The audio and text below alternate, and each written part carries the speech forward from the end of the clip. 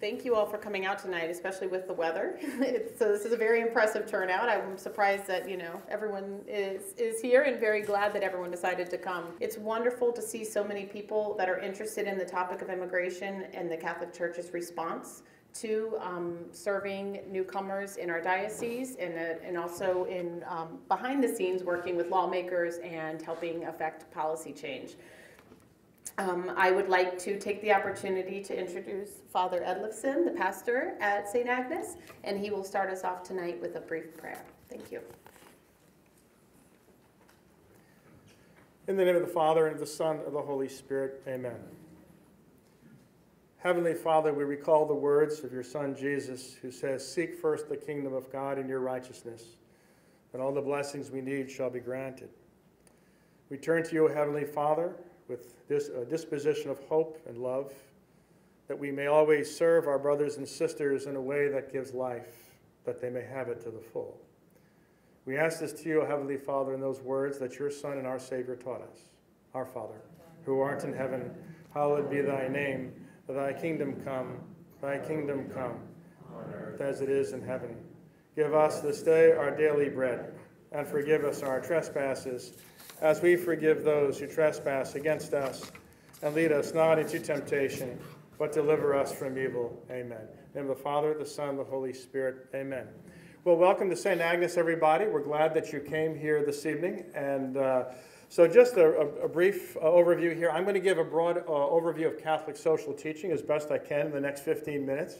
So uh, you get, you're going to get three hours credit for a 15-minute uh, talk here. And then after that, of course, we have Ashley Feasley, Jeff Caruso, and, and, Greg McKinney.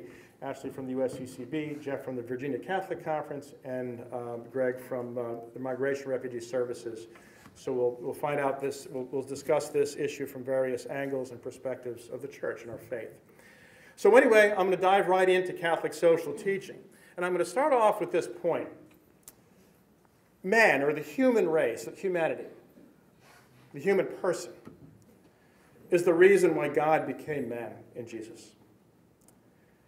And the human person is the one creature, the one creature who can most perfectly give glory to God.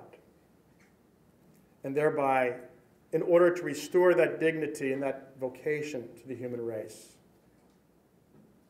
God became man the Son of God, became one of us. And that is the starting point of everything we believe as Catholics and how we approach all of our brothers and sisters, especially those who suffer, that are weak or vulnerable. And so this leads to a point that is, I might call a, a pre-teaching or something that pre, is presumed in Catholic social teaching. When we say social, we're presuming how, we're talking about how the church approaches society, how we relate to one another socially. But there's something basic in this that we must return to, and that is what we call the dignity of the human person, which, in a very deep and fundamental way, is related to what we call the right to life. The right to life is not only a moral principle, but it is also, in terms of our society, which includes the state, a legal obligation to be protected and administered by law. This is a fundamental duty that a society and its governance cannot abrogate and should not abrogate to protect, even by law, the right to life of an innocent person. And this is most markedly the case when any innocence is involved. And that includes not only an unborn child, but anyone else in between, and also the dying. However, the principle of human dignity and the right to life is more than just avoiding homicide. And that sounds rather sharp, but it's, it's true. And it's more than just proposing laws against homicide, which are essential.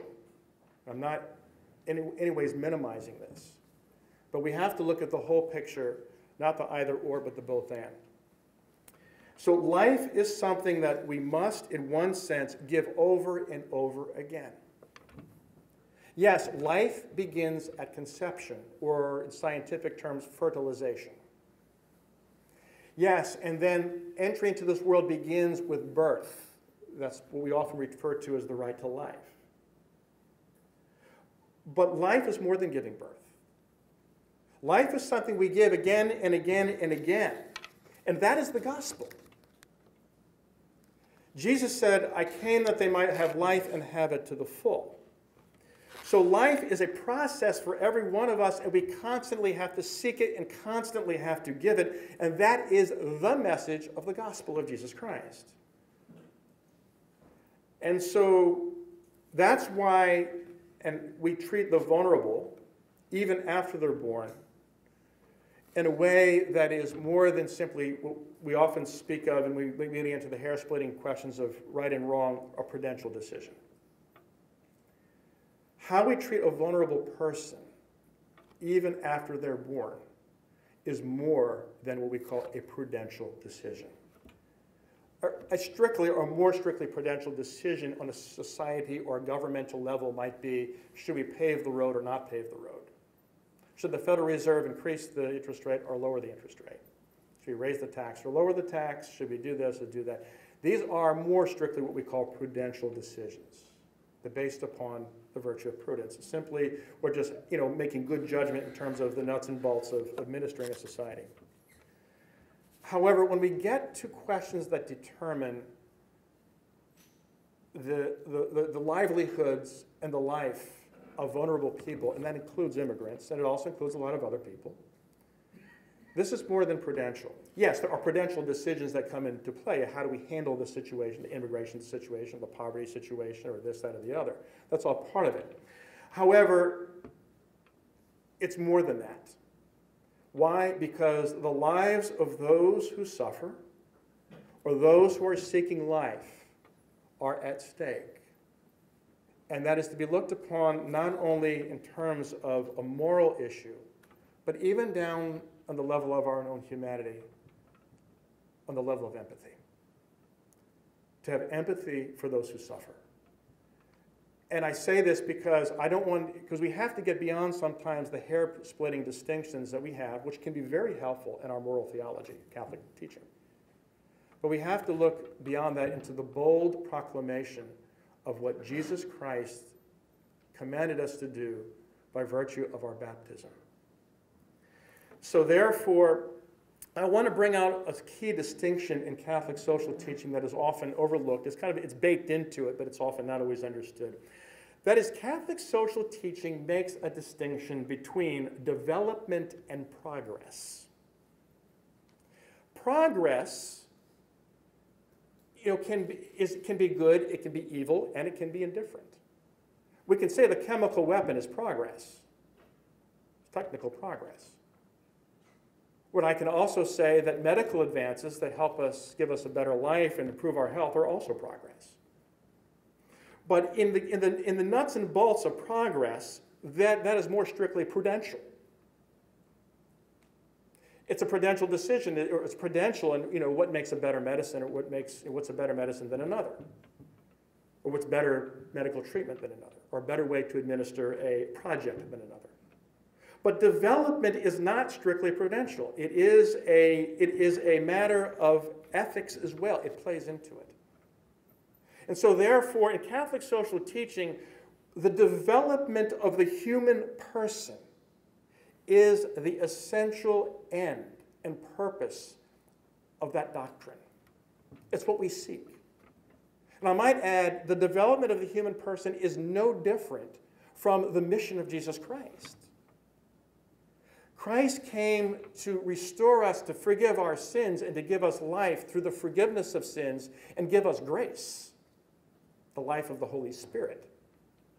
And likewise, society on its level is there to give us all, of, all that we need to grow even on the natural level as human beings. So the life of grace that is given to us by the church and the life of our natural development as humans, which is given to us by society, which includes the state, this is the end of human endeavor, both natural and supernatural. I want to read to you a quote right from the compendium of the church's social doctrine, which is basically the catechism of social Catholic teaching. It says this A just society can become a reality only when it is based on the respect of the transcendent dignity of the human person. Hear this line The person represents the ultimate end of society the person is the ultimate end of society. It's also the ultimate end of Christ, by which it is ordered to the person. Hence, the social order and its development must invariably work to the benefit of the human person, since the order of things is to be subordinate to the order of persons, and not the other way around. Respect for human dignity can in no way be separated from obedience to this principle. It is necessary to consider every neighbor without exception as another self, taking into account, first of all, his life and the means necessary for living it with dignity. Notice, account for his life, the right to life, and the means to live that life to which he has a right with dignity. Every political, economic, social, scientific, and cultural program must be inspired by the awareness of the primacy of each person, person each human person over society. That right there is worth a lot of reflection. That, that paragraph alone sums the whole thing up.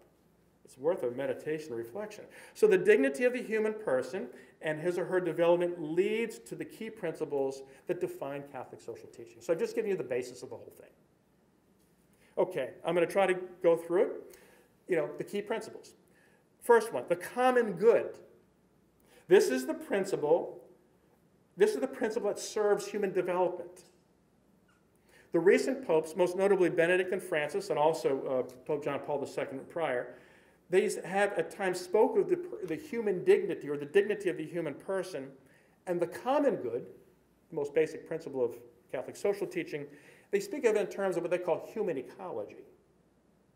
The environment of the ecology in which we are, we can thrive. So the common good is the ecology. It is the atmosphere in which the human being can flourish. And this is what must be promoted by our culture, our social attitudes, and even our state.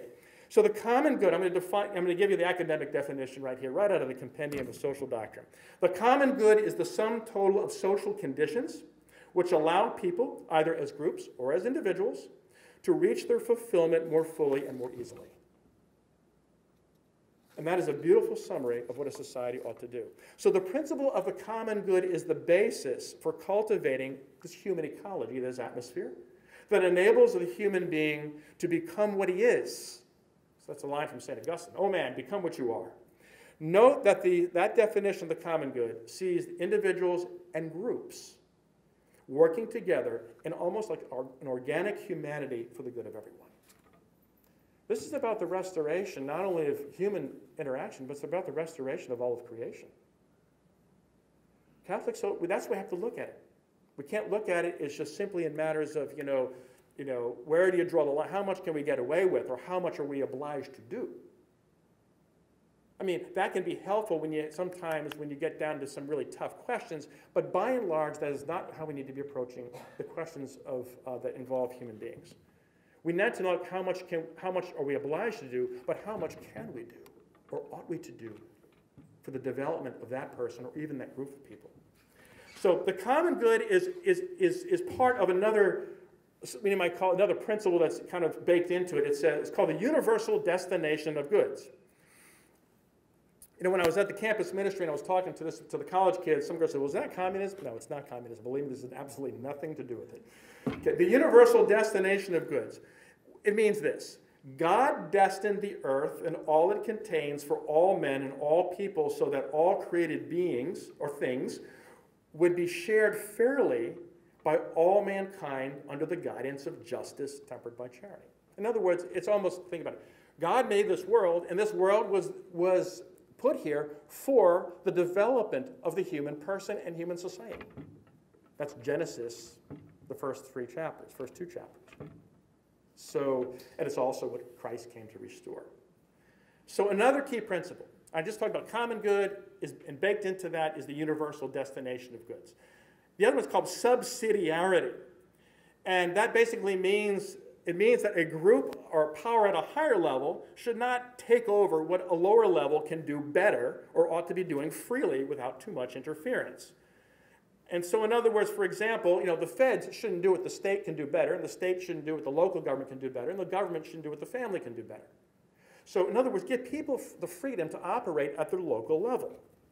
So in other words, you might say it's a form of localism. And this is, this is baked into that as another principle we call participation. It's basically, we often think of that in terms of democracy. When I say democracy, I don't necessarily mean a system of government. I mean, we participate and all have a right to contribute to the common good.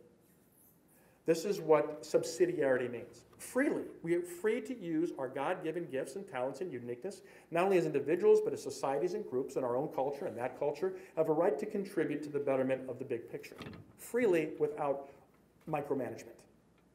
That's the summary of it. And this is what we call subsidiarity, and it promotes participation, which is another word for, in a certain sense, democracy. It doesn't, and when I say democracy, I don't mean voting and all that. I mean participate, full participation in the life of our society. So thou shalt, thou shalt not micromanage is the key. However, that does not mean, uh, you that does not necessarily mean provincialism or local yokelism. It doesn't mean, okay, stay out of my life. I have no, my little town is my little town and I have no obligations to, to everybody else. Stay out of my life. That's not what it means. Subsidiarity, you know, freedom at the local level, is it also has to work in harmony with solidarity, which means there are some principles that transcend local rights. And I think this country has had its own battles with that. For example, the civil rights movement. You know, people would often argue, well, I have a right to exclude this racial group from my business uh, because, and that's my right, and, and, and, the feds don't have a right to come in and, and, and dictate what I do. But no, the feds came in and said, no, there are some rights that transcend your right to your local business. You know, and so, and, and there's, so this is a case of a tension between extreme subsidiarity over and against a, legitimate solidarity. We saw a lot of that going on in the, in the 50s and the 60s, and perhaps we still have some of that resonating with us today. But anyway, so solidarity also is, is something that uh, is another point that's baked into that is what we call the preferential option for the poor. So in other words, you know, my local yokel interests should never be the cause or, justify, or justification for violating the rights of a vulnerable or a poor person. Okay? So anyway, there you go. That is the best I can do in 15 minutes to give you Catholic social teaching. You can take three semesters or four semesters of this stuff at Catholic U. You just heard in 15 minutes. So here, the common good, okay, the common good is sum total of all conditions that help human development, and that ties into the universal destination of goods, the earth, and all it provides is for the common good. Subsidiarity, that means everybody has a right to participate without micromanagement or somebody interfering. They have a right to freedom to participate and contribute to society. But solidarity protects the rights of everyone across the board, and this is where we get the preferential option for the poor. So anyway, you can see how this plays into a lot of issues, but also in the immigration issue itself, which gets rather complex. So this evening I ask us to, to cleanse the partisan palate. Uh, that means it, it, it's, we, we, I want to look at it from a strictly Christian point of view. Let's pretend we don't know about all the partisan disputes, left and right, and this, that, and the other. Just pretend that let's try a thought experiment. Let's look at it strictly from the vantage point of Jesus Christ. In other words, whose only purpose in life was the development of the human, to forgive sins, and so that the human person could become what they were meant to be. Thank you. I'm Brooke Hammond Perez. I'm the Director of Newcomer Services with Catholic Charities of Arlington. I work uh, with Gregory here, who you guys will hear from later. I also wanted to mention that there are index cards at that table. If you didn't pick any up and you want to get up um, and get some, Please, if you have any questions for the um, panelists tonight, please uh, write down um, your questions on the index card. And once all four panelists have finished speaking, um, we will um, be able to respond to as many um, questions as possible, time permitting. And without further ado, I'm going to pass it on to Ashley Feasley, who is the Director of Policy at the U.S. Conference of Catholic Bishops.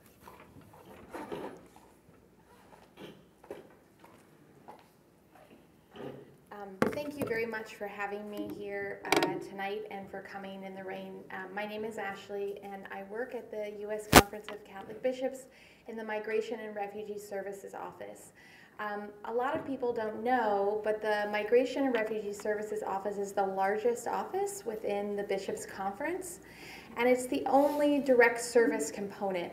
Um, we provide services for uh, refugees unaccompanied children, and then human trafficking victims. And we do it through our Catholic Charities Network, um, including Arlington, who's a proud partner with us. Um, it is through this work, uh, as well as the Catholic social doctrine and principles on migration, that we work on policy positions with the federal government. Um, we work with mostly Congress and the administration in furthering those policies. And the policies, again, reflect um, care and concern for the populations that we provide direct service for throughout the country, and also representing the bishop's migration issues. So, Father did a wonderful job talking about the Catholic social teaching and principles of the larger picture. I'm going to drill down real quick to talk about some of our migration principles, uh, which kind of uh, frame our work every day. But very quickly, before I do that, um, I'm going to ask everyone who here knows about the Justice for Immigrants Coalition? Oh, I have my work cut out for me here. So, the Justice for Immigrants Coalition is the Bishop's public education and advocacy campaign. It's the first of its kind. It was introduced in 2003.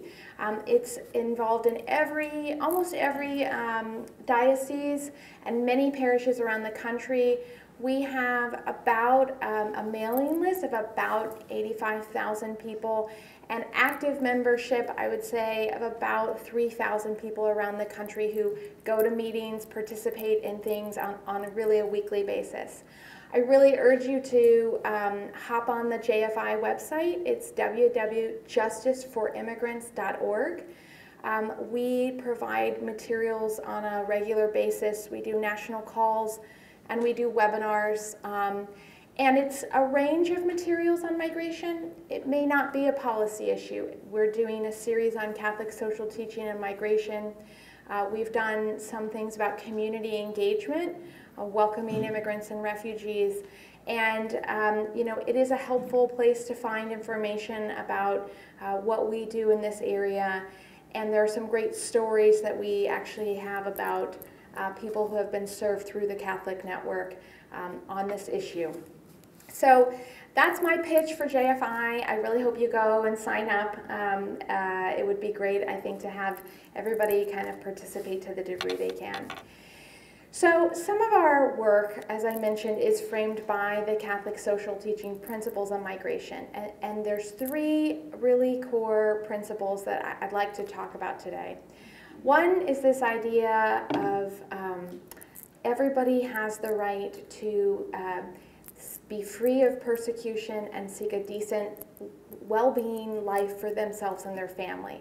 Uh, we describe this one basically as, as the right to migrate, the right that you have the ability, if, if you are in a situation where you cannot escape a, a terrible situation, you cannot provide for your family, you have the right to migrate. But equally important and a counterbalance is everyone has the right to stay where they are in their country of origin or where they are in this moment um, and try and achieve that, that goal too of having a, a decent life and, and decent work and an opportunity for themselves and their families. And that we call for short term the right not to migrate. And the other principle, the other two principles that I think are really important when we think about this discussion is um, you know, the bishops and Catholic social doctrine uh, recognize the right of nations to control their borders. They recognize the right of nations to control their borders. But that right comes with a responsibility. And that responsibility is to ensure that laws are just and humanely implemented, that they respect the right of the of the U.S. taxpayer. They also respect the right of and human decency and dignity of, of individuals. And so, you know, these are some of the principles that we work with. The last I will say to you is um, refugees and asylum seekers, people who are fleeing persecution, have the right to access due process and protection. Um, it's part of who we are as a country, but also recognizing vulnerabilities. So these are the principles that we try to implement when we look at pieces of legislation or policy advancement um, with Congress and with the Hill. I would say to you that there have been a number of changes on the policy level um, that have impacted actually your community or will be impacting your community uh, that really are in conflict with some of those principles. Um, the first I'm going to mention is DACA. How many people here know what DACA is? Okay. So we have approximately seven to 800,000 young people who applied for a program uh, that was initiated uh, in 2012 under uh, President Obama. It is a program where these individuals pay um, every two years. They move forward uh, with a security vetting process, and they're allowed to get a work authorization and continue living here even though they've been here undocumented. DACA is not a program that ever provides someone with a path to citizenship. That means that these individuals, they're here on a temporary basis based on that DACA, that deferred action that the government has issued. Now, everybody raised their hand about DACA. Who knows a DACA uh, recipient actually face to face? So many of you who know, who raised your hand, know that this is a really exceptional group of people. They're young people, they were brought here by their parents, and, and they really do look to contribute. Um, obviously, you know, I think the issue of canceling DACA, uh, the, the attempt by the administration, was very troubling, I think, for the bishops uh, for a number of reasons, um, and it is something that we work on. One, I would say um, this idea of, of, again, right to opportunity and, and right to, to, be able to try and, and live a decent life. Um, these were young people who were being stymied very much in the sense that they couldn't go to college or they couldn't get a driver's license or they couldn't work legally, which is all things that we want young people to be able to do, right? Have the chance to access educational opportunity, have the chance to, to drive legally with insurance, and have the chance also uh, to work in a legal way. Um, I think the other thing that, you know, the politics of DACA aside, for the bishops and many of these policies, they spend time with DACA recipients in their community. And they, you know, had DACA recipients who came up to them and said, this program has changed my life. Um, this is something that's important to us. So, uh, you know, the DACA program, we remain committed uh, to being supportive of ensuring that these young people have the chance to stay here and contribute. But I will say that it's important to understand that DACA itself is no fix. Uh, we do need Congress to act on this, and we need Congress to act on a number of things, um, including the next topic I'm going to bring up, which is temporary protected status. Who here knows what temporary protected status is? Okay. TPS, for those of you that don't know, is a program that was initiated under um, President Bush in 1989 with bipartisan support that allowed people, it's a, a law uh, that Congress passed that allows people who are from countries who have extreme either armed conflict or natural disasters stay here in a temporary uh, status. It provided that they check in with the government um, about every 18 months. They pay a fee, they do a security check, and they also get work authorization. This uh, with the new administration, we've seen a cut to the temporary protected status issue. Now, what does that mean? Who are TPS recipients? Well, you are in a community uh, with a number of TPS recipients. Uh, you have one of the top 50 congressional districts with TPS recipients from El Salvador. Uh, you may not even know that they are in your community because they have been here for so long. Um, the Salvadoran TPS recipients, they uh, started living here in 2001 to be able to be eligible for the program. Um, many people, I think, I don't know if you know, but the Salvadoran bishops came and actually were invited to speak uh, with Bishop Burbidge at the cathedral. Did anybody go to that? Okay.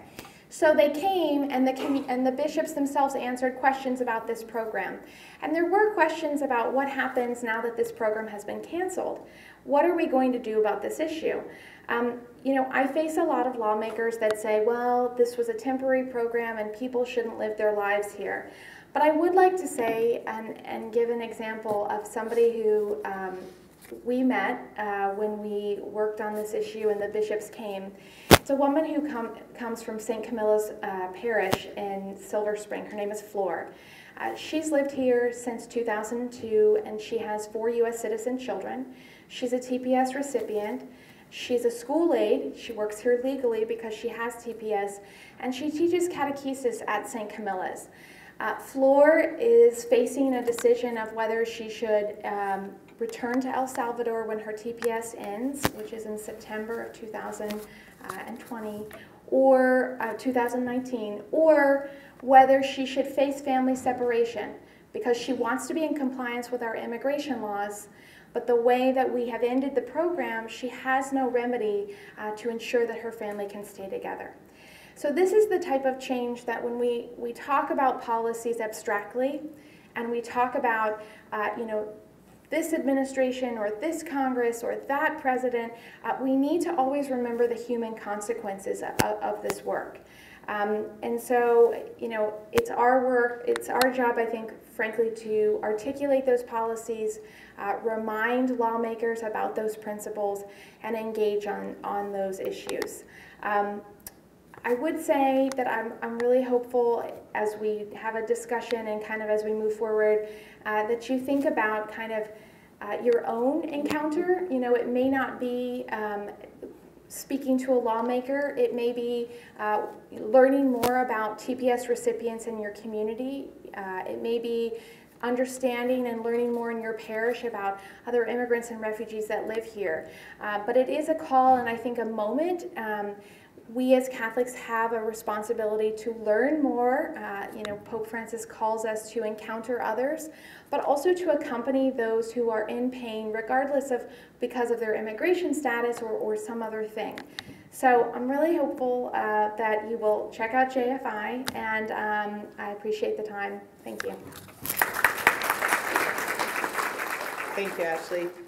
And next up is Jeff Caruso, the Executive Director of the Virginia Catholic Conference. Thank you.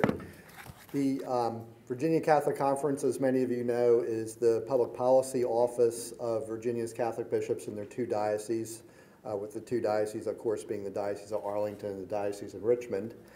Um, you know, a lot of the work that state Catholic conferences do um, uh, is, of course, you know, the bulk of the work is at the state level, uh, where we work at the Virginia General Assembly. Um, we also uh, provide a supportive role to the U.S. Uh, Conference of Catholic Bishops on uh, federal issues. Um, and in all of our work, the, the state level work and the federal work, um, our mission is, is really grounded in the U.S. bishops um, forming consciences for faithful citizenship document, which um, I encourage you to, to read the whole thing um, if you have uh, uh, time to do so. But I, uh, this evening, I just want to read two really short uh, excerpts from it uh, that, that have uh, particular relevance to this topic. Um, the, the first is, is under their section on solidarity. It says, we are one human family, whatever our national, racial, whatever our national, racial, ethnic, economic, and ideological differences. And then later on in that section, uh, it says, solidarity also includes the scriptural call to welcome the stranger among us, including immigrants seeking work, by ensuring that they have opportunities for a safe home education for their children, and a decent life for their families, and by ending the practice of separating families through deportation. Uh, and then later on, there's a, a section specifically on migration, and, and I just want to read that to you because that, that really, uh, from that really kind of flow, the work that we do at the state level really flows from that. Uh, for migration, here's what the U.S. bishops say in Faithful Citizenship. The gospel mandate to welcome the stranger requires Catholics to care for and stand with newcomers, authorized and unauthorized, including unaccompanied immigrant children, refugees and asylum seekers, those unnecessarily detained, and victims of human trafficking. Comprehensive reform is urgently necessary to fix a broken immigration system and should include a broad and fair legalization program with a path to citizenship, a work program with worker protections and just wages, family reunification policies, access to legal protections, which include due process procedures, refuge for those fleeing persecution and violence, and policies to address the root causes of migration. The right and responsibility of nations to control their borders and to maintain the rule of law should be recognized, but pursued in a just and humane manner. The detention of immigrants should be used to protect public safety and not for purposes of deterrence or punishment.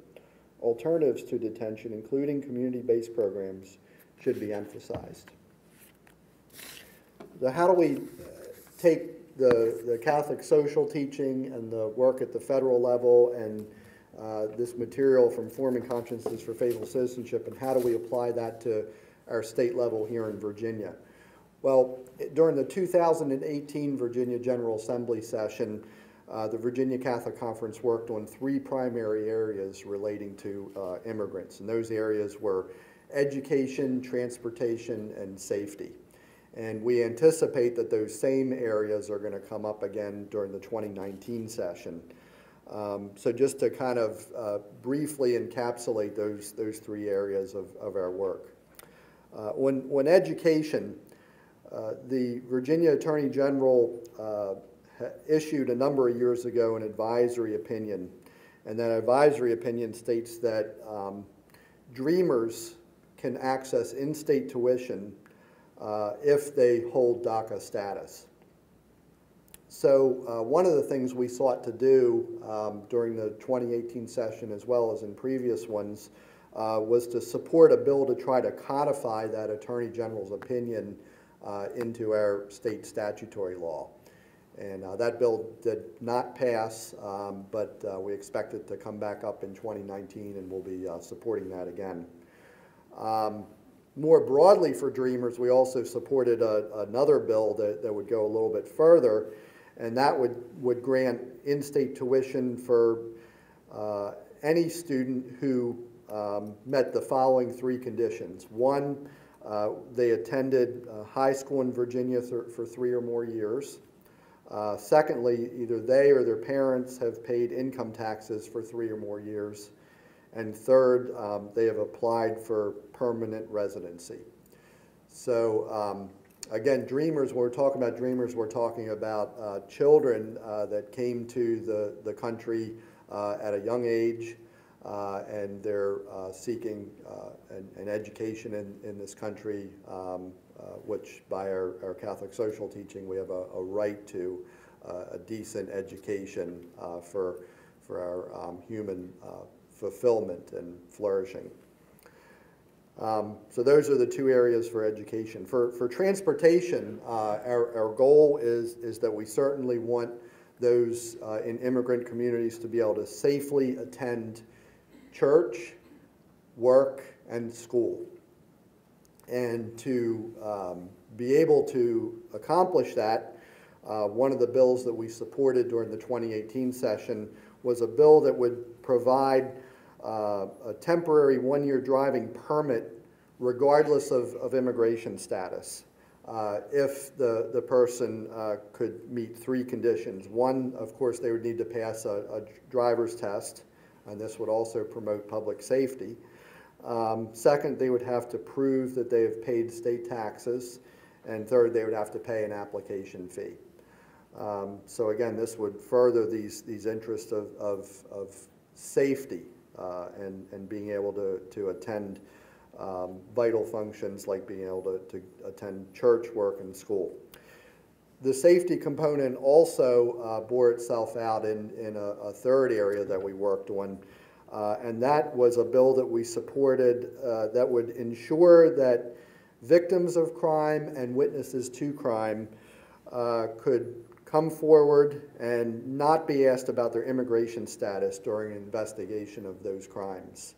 Um, this would, of course, encourage people to, to uh, uh, share their, their experiences about these crimes and, and to, to have these vital uh, investigations take place.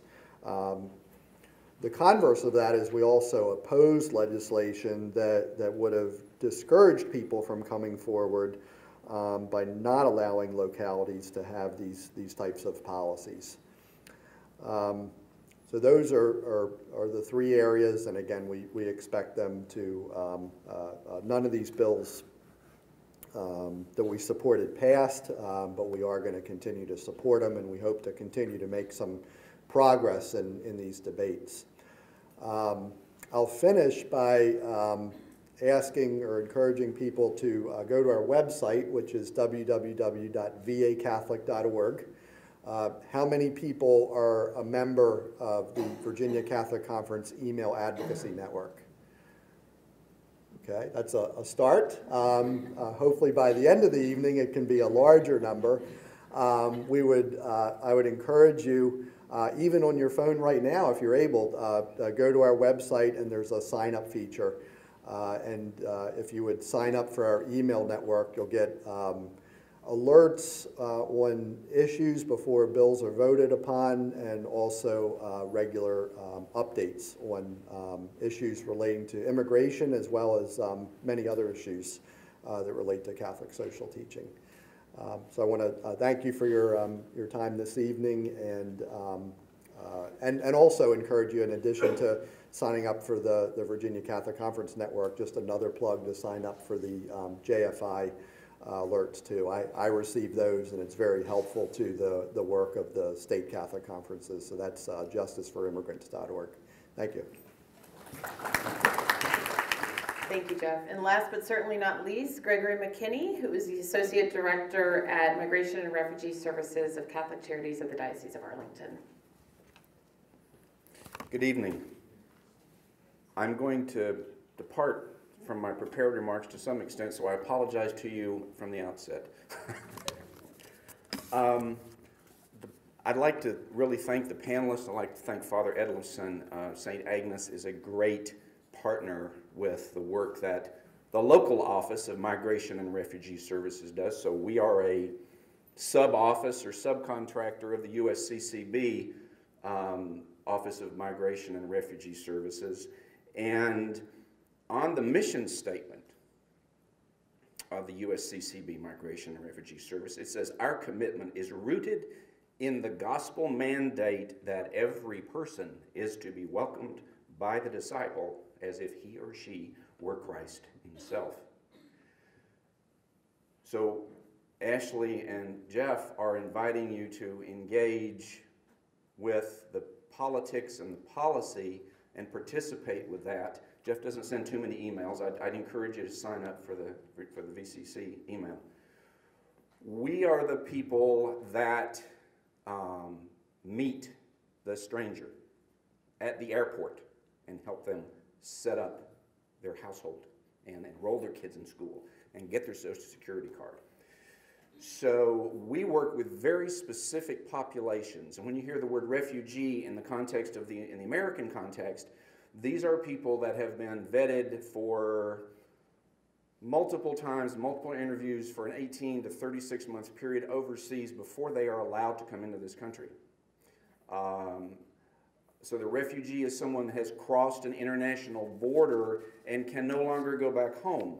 And they have, um, they go back home with fear of their lives and they have crossed a border fleeing persecution on the basis of race, religion, nationality, political opinion, or membership in a particular social group. So if they meet the legal definition of a refugee and, and pass, I'm doing dangerous oversimplifications, um, come into the country through the system, that's a refugee.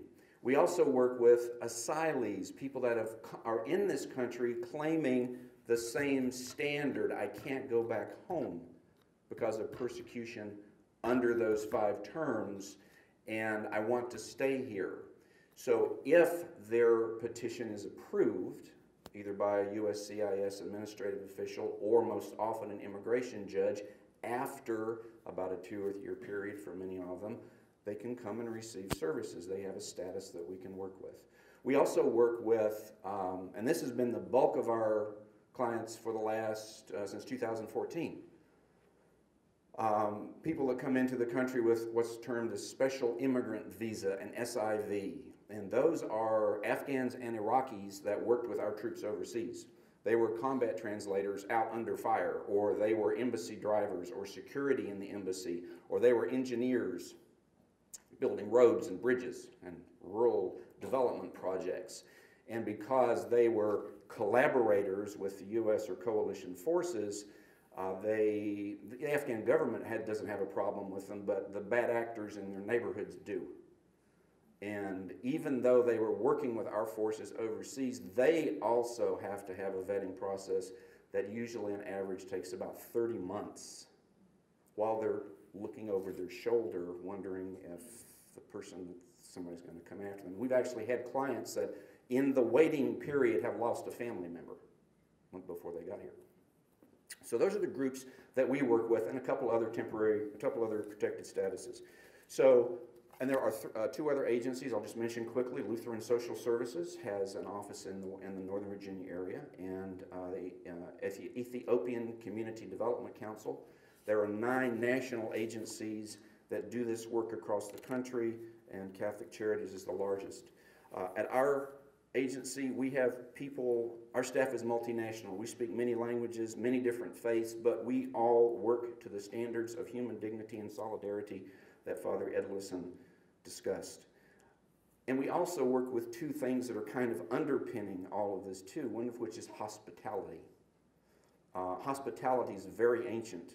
There's six specific references in the Old Testament to loving the alien that lives among you because you yourself, Israelites, were aliens in the land of Egypt once upon a time. Treat the aliens among you better than you were treated. Um, and the other one is accompaniment, and that's a really uh, called out through uh, the, the, the, the ethic of the Jesuits that you go with the person that you're trying to assist not to tell them what to do and not to hold it, not to, well, excuse me, maybe hold their hand, not to pull them along, but to go along with them. So that's the ethic that we work under with our clients. Uh, all of the U.S. resettlement agencies have a goal of self sufficiency through early employment. So when they arrive, one of the first things we do is, is enroll them in one of our two employment services. We help them find jobs, we assess their educational backgrounds we can't help anybody get a college education, but we can send them to get a computer course, for instance. Uh, integration, not assimilation, integration into their communities so that they understand the country they're living in. And we're in a position, y'all are in a position to understand the, the cultural aspects, the cultural differences. And none of this works unless it's a public private partnership. And I can speak for the three agencies in Northern Virginia, the best examples of public private partnerships that you could hope to see government, nonprofit, and the community working together. So the, we meet the stranger at the airport. Um, when they come in, we've got someone there to greet them. Sometimes people from the parishes come along with us to greet them. Uh, there's got to be someone in the state of Virginia that they have to have a connection with. In, in Northern Virginia, that is an immediate family member. Other parts of the state, it could be somebody that knew you overseas, but those people have to step up before they're allowed to come and live in Virginia. We um, will help them set up the household. We use donations from the parishes. Uh, everybody gets new bedding. Most people get new pots and pans. They might get a used dresser or a used couch, but we give them as nice of things. Again, because of that human dignity and also made possible by the generosity of the parishes. So there's a 90 day period that uh, the State Department contracts with these organizations, the reception and placement period that gets them settled. And then the federal government also provides money to the Virginia Office of Newcomer Services for, let's call them accompaniment services, because we can move along with those clients for five years. What's five years? That's when you become a citizen, right? So we can help them try to get back in their professional fields. We have a lot of, and we have engineers and lawyers and doctors and nurses and pharmacists and everything that, uh, even a judge, um, as clients that have come in as one of the SIVs.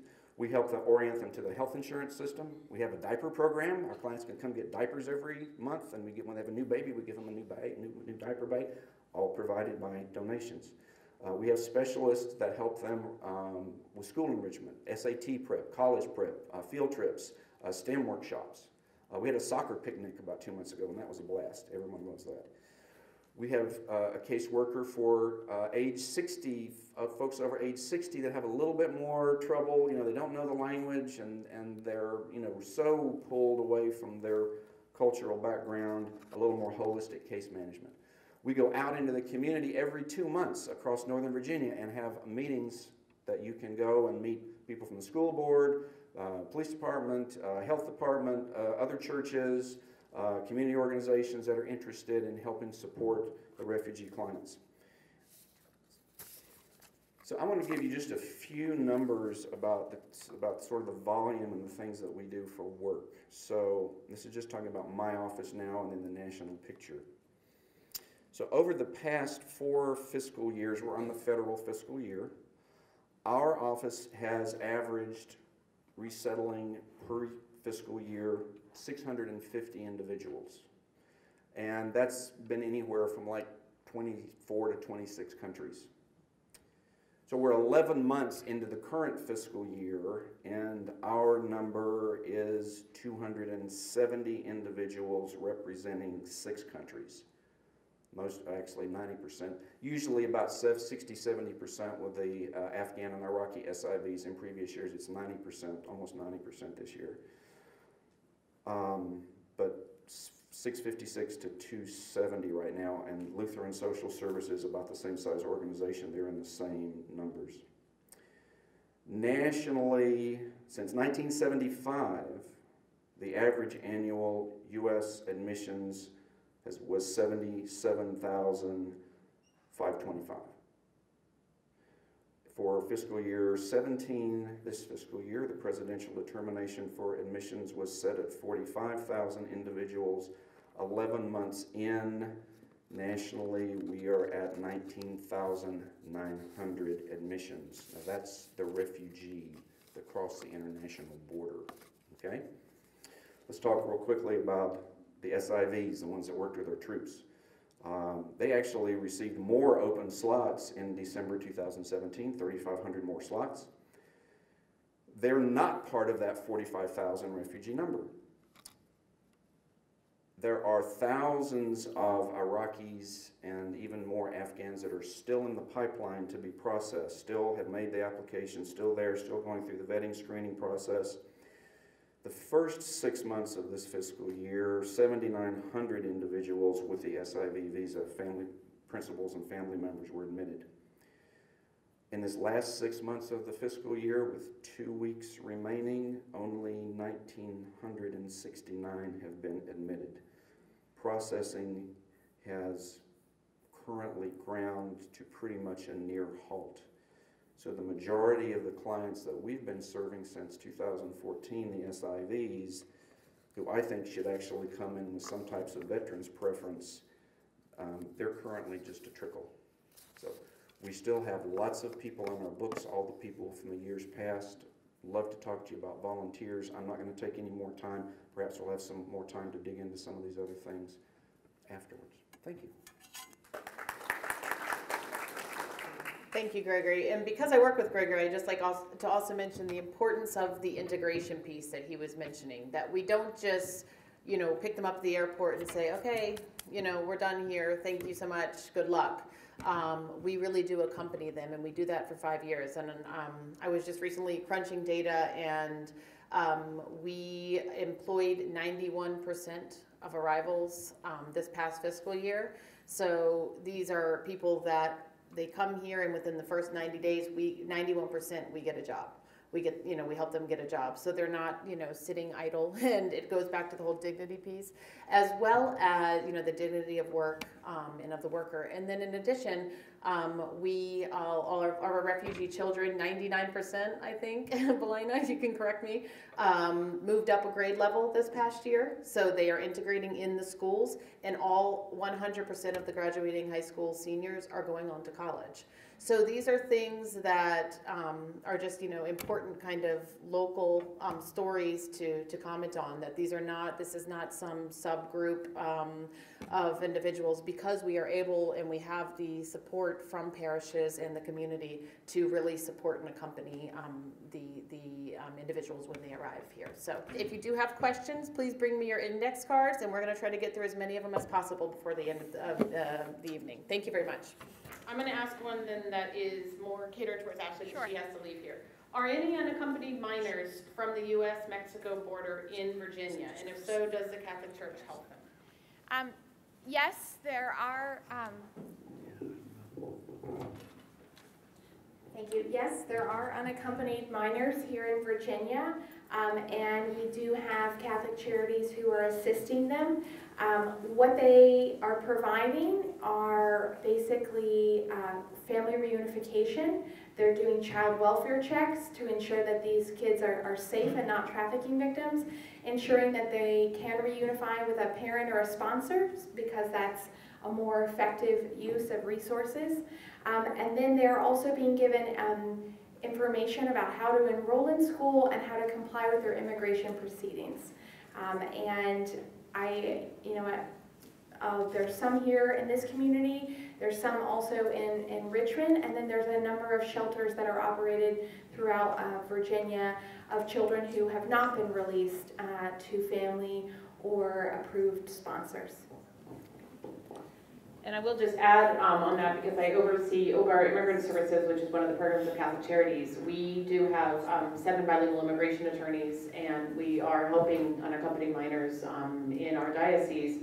Uh, Virginia is the seventh largest state nationwide that is a receiver of uh, a recipient state for these um, children that are being released from detention and then they are put in deportation proceedings. Um, we have clients that are two years old uh, that were brought here on the back of, you know, on the tops of trains by their, you know, nine-year-old brother, for example, um, fleeing gang violence, um, things like that. And so we are doing our best to, to at least help them through the crazy immigration legal process, especially since they don't even speak the language and they are not afforded a public defender um, because they are um, undocumented. Um, sorry for the brevity of the answers, but um, I, am happy to stay after and, and, you know answer any other questions if you have about that. Um, where does the law regarding illegal immigration, uh, which countries need to preserve the life of all and to keep order, safety, intersect or come into play with Catholic teachings? Does anyone want to take a stab at that one? So I guess, uh, what's the Catholic teaching response to um, the country's need to preserve life and keep order and safety?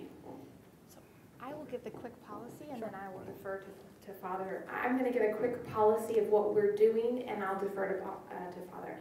Um, I think that all countries have that responsibility and we work really hard to ensure um, that some of these countries who have been traditionally sending countries um, are doing better in terms of um, following the law, being places where people can raise families, uh, really being places that are transparent with better judiciaries and police systems. That's part of the root causes when we talk about the need to stop migration, irregular migration. Um, part of that is looking at why are people leaving.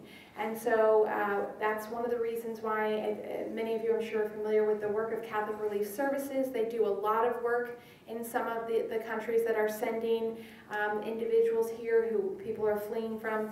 So one of the things that we always think about when we look at immigration policy development is looking at the root causes and looking to ensure that we can stabilize and secure some of these countries uh, so there are better opportunities, there are more safe places for people to stay and they don't feel the need to migrate. Um, and so I can, you know, turn it over to Father, I think, on some of the, the social teaching.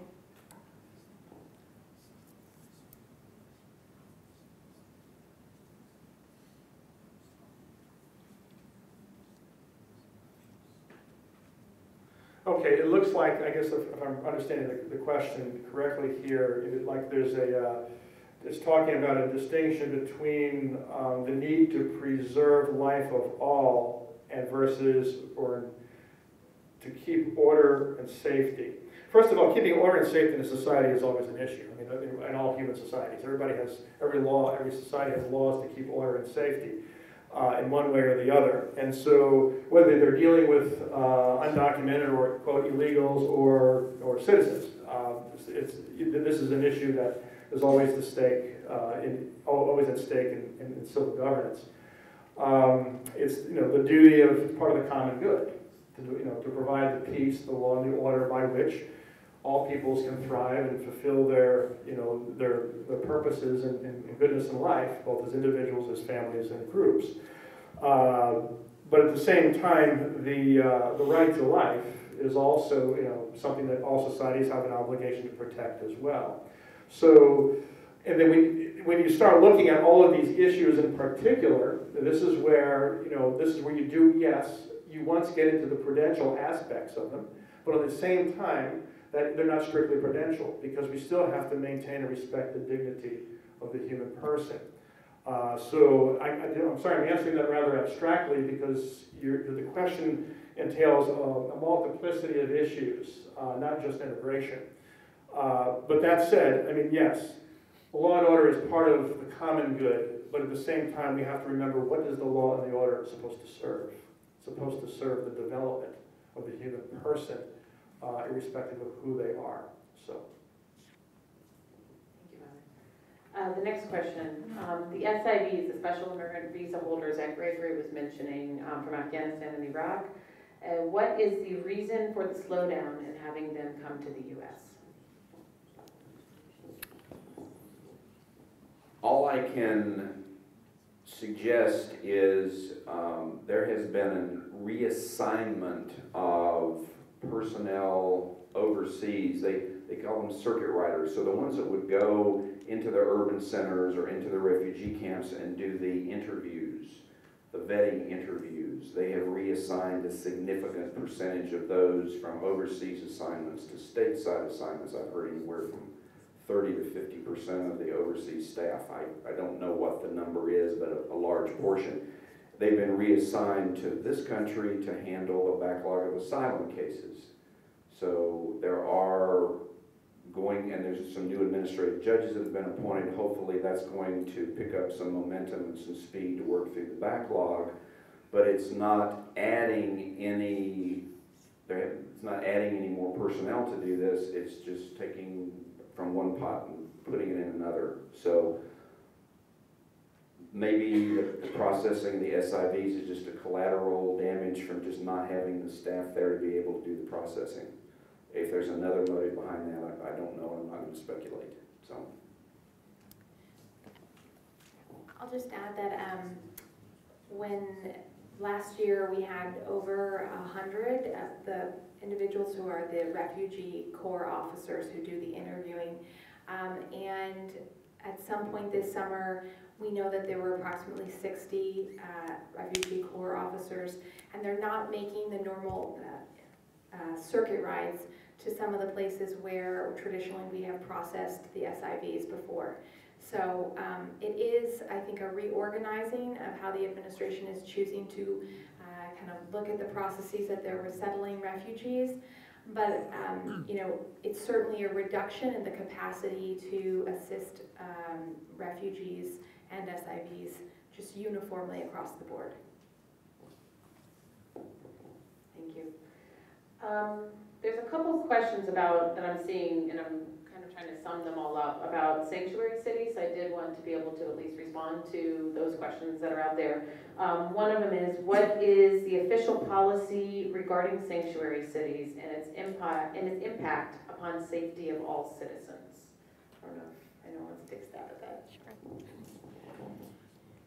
So I, I just want to be real clear. Um, so sanctuary cities are relating to the law enforcement um, administration of a city and its choice to whether to engage with ICE, um, which is Immigrations and Customs Enforcement, which is an office of the Department of Homeland Security.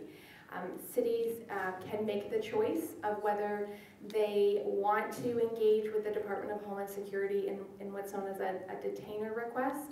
If you pick someone up um, and you run through, you know, all of their vitals, you find out that they're undocumented.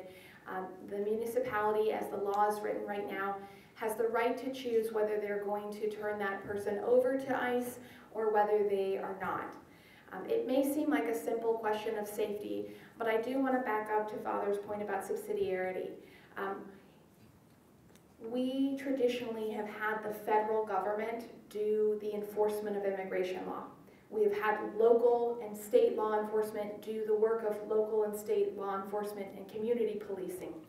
Um, and the reason for that uh, divide over the years has been about community trust, and it's also been about local prerogative. Um, we see in certain instances that uh, you know, there's jurisdictions that make a variety of choices on this. Again, local communities have to choose whether they want to work with the Department of Homeland Security or whether they don't. Uh, but the official position here, I think, is to recognize the right of the local government on this and, and see that they are, um, you know, making the decision as, as the local kind of authority. Uh, one of the things I think we do, uh, the bishops are concerned about, having worked with a lot of immigrants, um, particularly trafficking victims. Um, sometimes we see also U visa, so crime victims, is that when we have seen in our work, sometimes when law enforcement is deputized to do federal immigration enforcement work, you do see people who are less willing to come forward and work with law enforcement. You do see less engagement in immigration communities. Um, it is a fact that, you know, certain communities have seen decreased reporting on domestic violence uh, and other crimes um, on this issue. But sanctuary cities have nothing to do uh, with the church giving sanctuary. That's a different issue of sanctuary, and it has nothing to do with local municipalities issuing benefits like access to hospital or healthcare or other things. It is a simple exchange with law enforcement, whether law enforcement will make the choice to work with the federal government on immigration enforcement or not. Um, the U.S. Catholic community has been very quiet about the plight of the Middle Eastern Catholics, Greek Catholics, Coptic, and Orthodox Christians. We don't seem to be active in helping them, especially those facing, facing, excuse me, death and persecution. Anyone wanna? It's not really a question, it's a statement, but I, I don't know if you wanna respond to the said.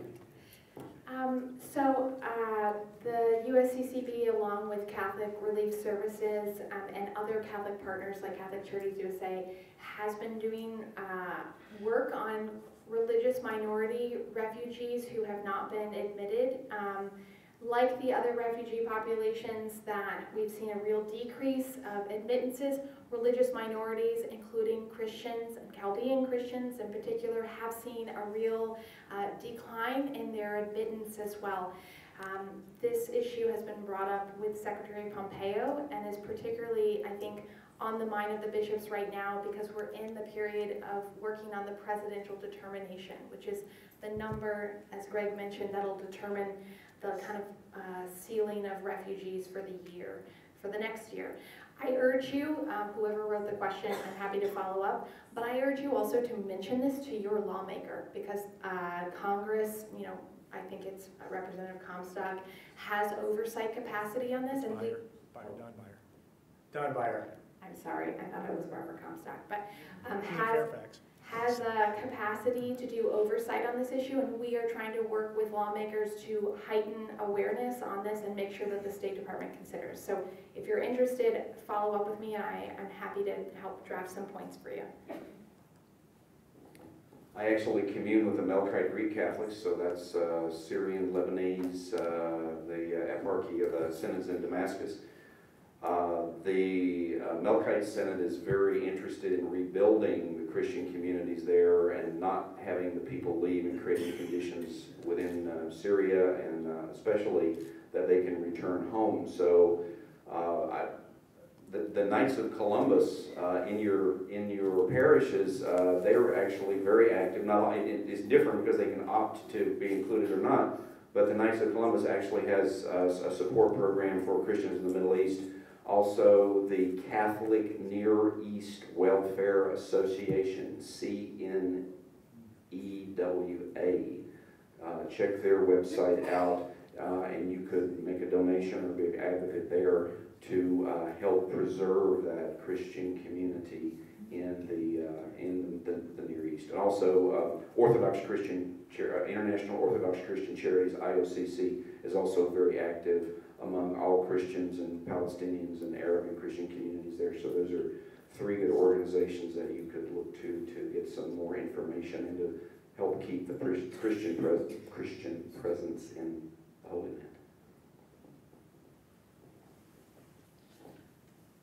All right, we have time for one more question. Um, What are the biggest pushbacks you hear from lawmakers when trying to move forward policy infused with Catholic social teaching? I- I can take that one. Yeah. I figured I would, I would give it to Jeff. Go for it, Jeff. Well, I I think it's, um, uh, probably what I hear the most is, is what I would call the, the either or versus the both and approach. So, um, you know, the, with all, all the focus being on enforcement and categorizing somebody as, you know, legal or illegal, documented or undocumented. Um, whereas I, I think kind of a, you know, more global comprehensive approach would be helpful where we, we start with the, the dignity of the human person. Uh, and then, and then through that lens, we look at the whole range of issues. We look at enforcement, certainly. Um, we also look, look at, um, what's consonant with dignity and, um, what's, uh, in, best in terms of furtherance of public safety, in terms of education, uh, in terms of the, the future of our Commonwealth and, and the future of our country.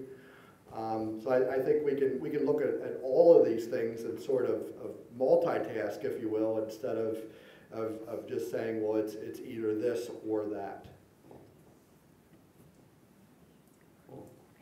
I just want to address another question that uh, has come up a little bit, also has come up a few times, you know, in- in face-to-face with some Christians, they'll say, Father, the minute you take them into your rectory, I'll take them to my home. Or, or same with the bishop, I'm gonna, let me address that, okay? Uh, First of all, what we're asking people to do in the church really is to help them get settled in their home. And this is how we work through MRS, Migration Refugee Services, and get settled in their home and their neighborhoods.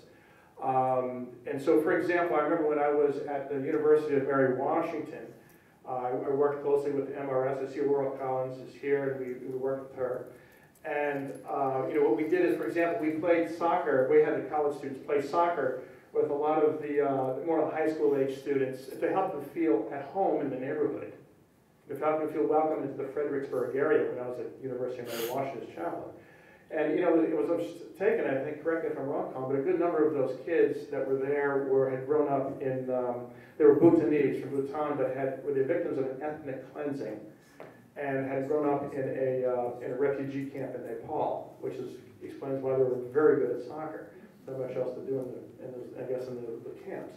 But that said, you know, they're finally coming to a place where they can settle into a neighborhood, into a land, a town, and have their own home and their space. And this is what we're seeking to do. Now, if you wish to have somebody settle in your home, I would advise that you go to an agency that can help you with that, because that is a very particular uh, way of welcoming someone. But it's a very, it's a very particular way. It's not the usual way. Um, and of course, you have to be very careful with that, because there's a lot of factors that have to be considered in, in, in, in doing something like that. But that said, I think the important thing here is the thrust of what we do here at St. Agnes with MRS as our aim is to help those who are trying to settle in their own home, you know, buy them their, like, like uh, Greg was saying, mat their mattresses or their, their forks and knives, or help them, you know, you know, get, take them to job interviews, or, you know, how to, how to enroll in the school system, et cetera. So this is the aspect that we can help with here, uh, according to our, uh, you know, our abilities and so forth. So anyway, I would like to conclude here uh, with a prayer. Um, I also like to always invoke the, the Word of God. In the name of the Father, the Son, and the Holy Spirit, amen. When they had departed, behold, the angel of the Lord appeared to Joseph in a dream and said, Rise and take the child and his mother and flee to Egypt, and stay there until I tell you. Herod is going to search for the child to destroy him. Joseph, Joseph rose and took the child and his mother by night and departed for Egypt. Heavenly Father, help us to look upon the world with the eyes of your Son, that we may look upon the world with the grace you gave us at our baptism, which is more profound and eternally abiding than our citizenship to any nation, to any nation of earth. Help us to recognize that we're all destined to be citizens of the new heaven and the new earth, the heavenly city, where all tears shall be wiped away and only joy and peace abide. We ask this to you, Heavenly Father, through the prayers of the Mother of your divine Son. Hail Mary, full of grace, the Lord is with thee. Blessed art thou among women, and blessed is the fruit of thy womb, Jesus. Holy Mary, Mother of God, pray for us sinners, now and at the hour of our death. Amen. In the name of the Father, the Son, and the Holy Spirit. Amen. Thank you all for coming out, have a blessed evening.